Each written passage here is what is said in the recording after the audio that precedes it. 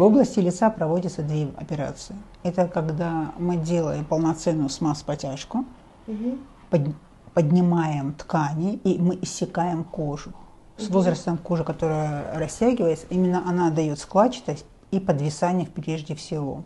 Если мы хотим кожу натянуть, то мы должны делать смаз-лифтинг. И пластику шеи. То, что вы показываете, подвисание в подбородочной области и верхнее дело шеи, это тоже нужно корректировать хирургическим путем. Мгм. И второй вид операции – это когда мы делаем эндоскопические операции. Эндоскопическая операция предполагает через мини-разрезы, когда мы опущенные ткани поднимаем кверху. Вот та цель, которую преследует при постановке нити, эта цель достигается только хирургически, когда мы все поднимаем в блоки. Все, Я что находится на кости. Вот все, что находится на кости, мы отслаиваем и перемещаем. Вот тогда это поднимается все вместе. Это имеет долгосрочный результат. А, Это связано с тем, что ткани прирастают в новом положении.